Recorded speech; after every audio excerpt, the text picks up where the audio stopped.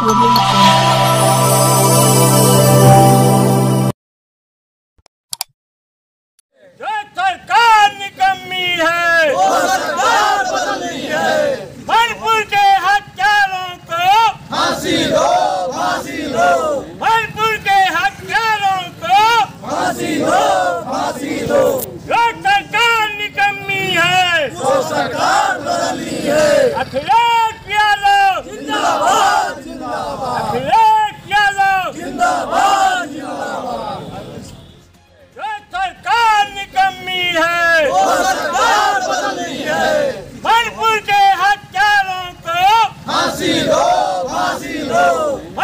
के हत्यारों को फांसी दो फांसी दो।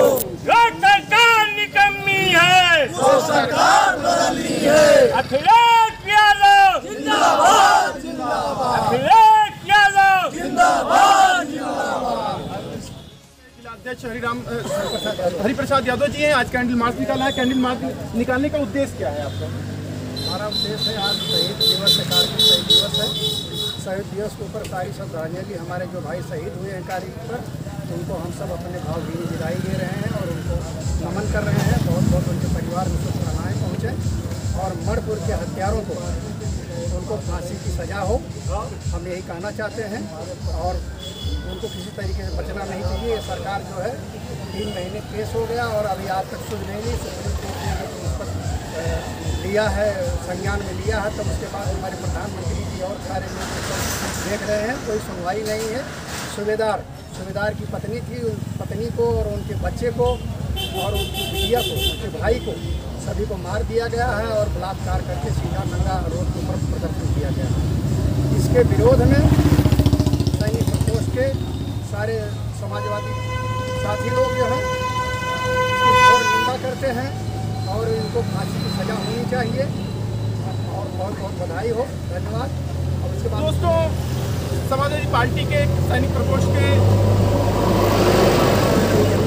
फौजी नेता थे। उन्होंने कहा कि मणिपुर की घटना निंदनीय है।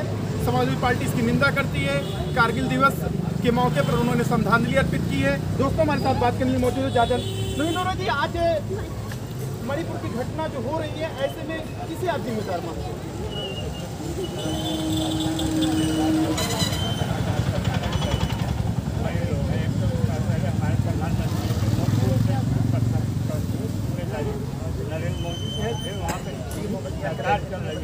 वो जिम्मेदार है क्योंकि मोदी जी तीन महीने से का कर रहे हैं उनको इतना तक आभास नहीं है कि देश में हमारे क्या हो रहा है विदेशों में जाके अपना पैर छुआ रहे हैं और यहाँ पर तीन महीने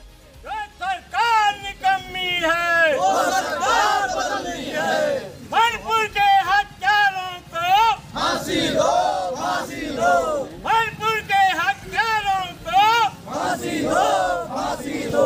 जो सरकार निकम्मी है। वो सरकार बदलनी है। अखिलेश यादव जिंदाबाद जिंदाबाद अखिलेश यादव जिंदाबाद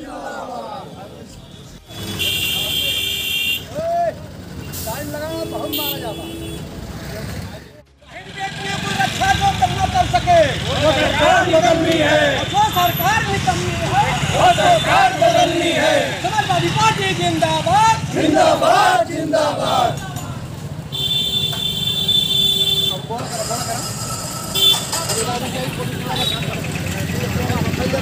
जिंदाबाद जिंदाबाद।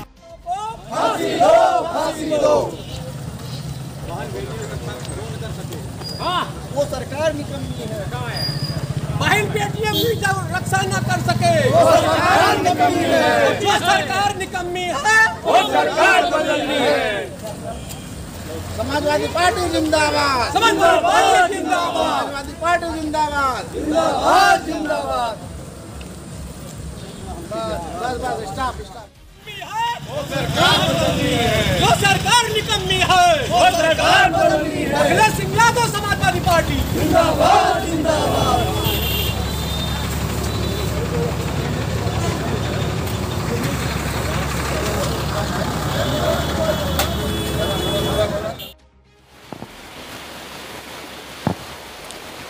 नमस्कार दोस्तों, आप देखना शुरू कर दिए हैं अपना पसंदीदा channel TV seven news UP.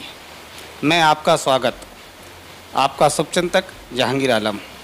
दोस्तों, एवं दर्शकों, आप सभी को ईद उल अजहा की ढेर सारी मुबारकबाद एवं शुभकामनाएँ।